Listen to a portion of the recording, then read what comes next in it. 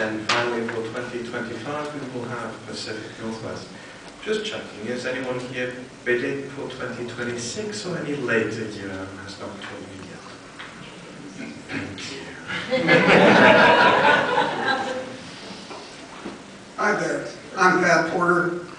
I was the chairman of the Seattle in 2002 bid, uh, vice chairman for the Seattle in 2005 bid, and I worked at the Smoking Good Convention we had in Spokane in 2015. I am pleased to announce that the last obstacle for our having a convention in Seattle, which is our primary focus, has been retired. Everybody else has been fired.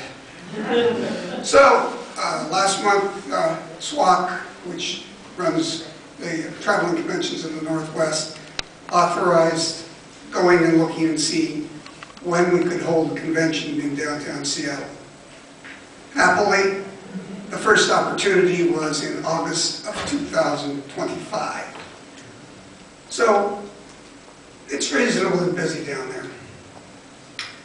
The convention will hopefully be in the main convention center, which right now holds 30,000 people conventions for the uh, fans of the Japanese anime, which is probably one of the reasons why the last guy retired. We do hope to be in there during that week in August, but we're also, because of the uh, chances of somebody else becoming a problem, are also looking around in the rest of the Northwest. I can promise you one thing. It will probably not be the smoking good time that was in Spokane.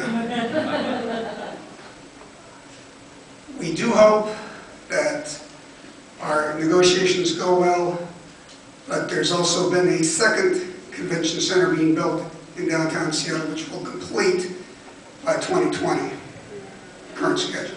So we have several options there, and we can always go back to Spokane. This is a great place. Uh, We only have a couple of minutes, according to the gal who uh, showed me a little placard that said five minutes. So I'd like to thank you. Look ahead, 2025 is a great time, and we hope you will come to the Pacific Northwest.